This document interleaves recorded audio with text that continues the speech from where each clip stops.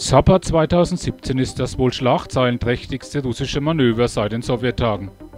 Nicht einmal über die Anzahl der Teilnehmer ist man sich zwischen dem Westen und Russland einig, geschweige denn über seine Bedeutung.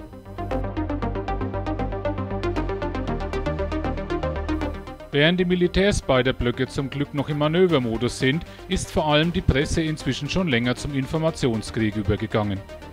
Ort des militärischen Geschehens beim Manöver ist der Westen Russlands und die Republik Belarus. Heute war es dann soweit und der Oberbefehlshaber der russischen Truppen, Präsident Putin, besuchte den Manöverschauplatz unweit von St. Petersburg, seiner alten Heimat. Im offiziellen Kommentar legte der Kreml gleich noch einmal Wert auf die von Russland angegebene Manöverstärke, 12.700 Soldaten, 70 Flugzeugen und Hubschraubern, 680 Kampffahrzeugen und 10 Schiffen.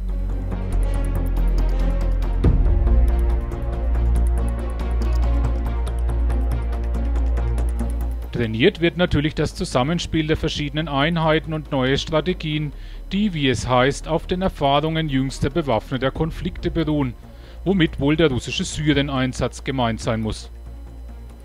Wenn Putin sich zum Streit über das Großmanöver noch äußert, es läuft immerhin noch bis zum 20. September, erfahrt ihr das bei uns zuerst.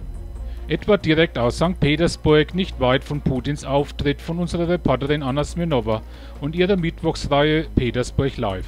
Abonniert uns für aktuelle Russland-News.